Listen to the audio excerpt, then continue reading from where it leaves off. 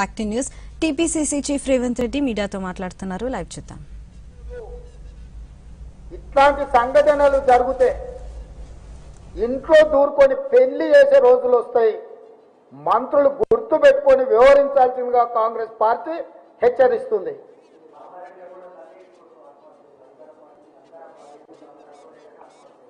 ఇప్పుడు రాష్ట్రం నలుమూలల ఒక బిహారీ గ్యాంగుల్లాగా టిఆర్ఎస్ నాయకులు విచ్చలవిడిగా వేధింపులకు గురి చేసి సామాన్యులైన ప్రజల చావులకు కారణమవుతున్నారు.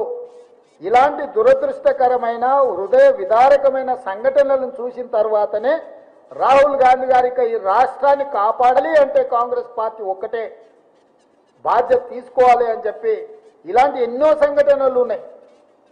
మీకు దళిత గిరిజన దండోర సందర్భంగా మా దేవర కథలో కార్యక్రమానికి వెళ్దామని గ్రామంలో దండోరేసిన మా పార్టీ కార్యకర్తను కొట్టి చంపింది చాలా దగ్గరలో ఇట్లాంటి దారుణమైన సంఘటనలు జరుగుతున్నాయి.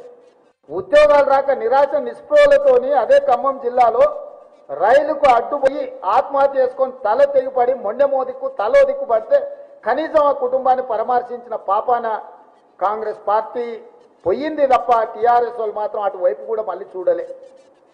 అంటే రాష్ట్రంలో ఒక్కటి కాదు వందల సంఘటనలు జరుగుతున్నాయి.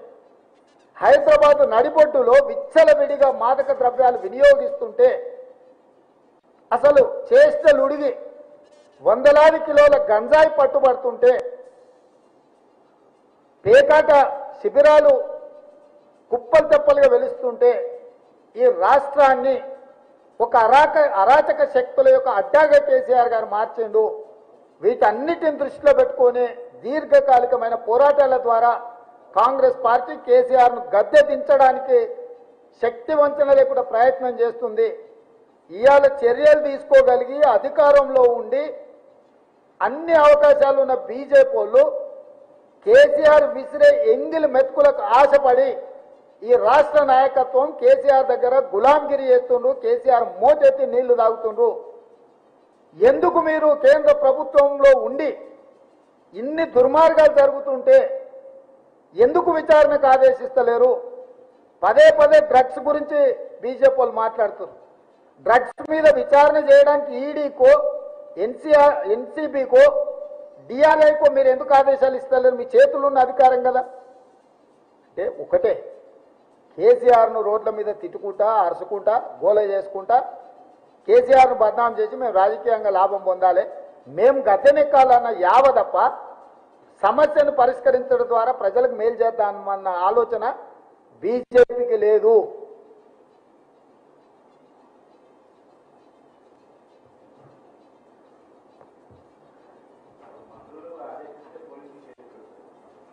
ఇప్పుడు అదే జరుగుతుంది కదా. మంత్రులు కూడా కదా ఆయన. ముఖ్యమంత్రి కో- కొడుకు కదా. అంటే వాళ్ళ చెప్పు చేతల్లో వ్యవస్థలు నడిపిస్తున్నారు. కానీ నిజాం కూడా ఇట్లనే చేసినా అనుకున్నాడు ఇట్లనే నడిపిస్తున్నా అనుకున్నాడు. రజాకర్లను పెట్టో లేకపోతే ఇతరులను పెట్టో. ఏమైంది చివరికి? ఇవాళ నిజాంకు పట్టిన గతే కేసీఆర్కి పట్టింది కాకపోతే నిజాం రెండు వందల ఇరవై ఐదు సంవత్సరాలు పాలిస్తే కూడా వాళ్ళు కష్టపడ్డే సొమ్మే శ్రీమంతులుగా ఉన్నారు. కానీ రెండు వందల ఇరవై ఐదు సంవత్సరాలు పరిపాలన చేసిన నిజాము వారసుల కంటే శ్రీమంతులుగా ఎనిమిది సంవత్సరాలు రాష్ట్రాలను ఏలిన కేసీఆర్ కుటుంబము ఆగర్భ శ్రీమంతులుగా నడమంతరపు సిరితోటి విర్రవీగుతున్నారు.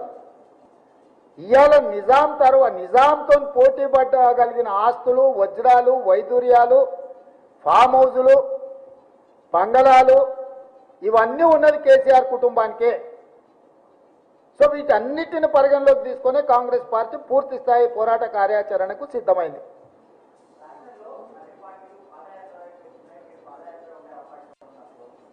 చెప్తాం తినబోతు రుచులేందుకు అన్ని విషయాలు చూస్తారు కదా. ఇంకా పన్నెండు ఉంది కదా ఎన్నికలు అన్ని కార్యక్రమాలు ఉంటాయి.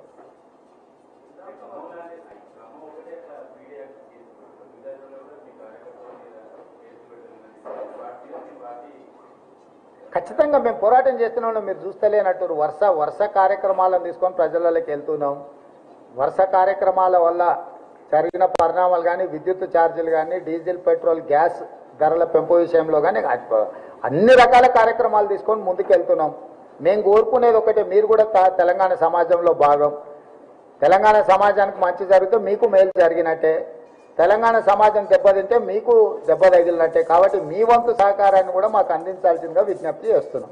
ధన్యవాదాలు.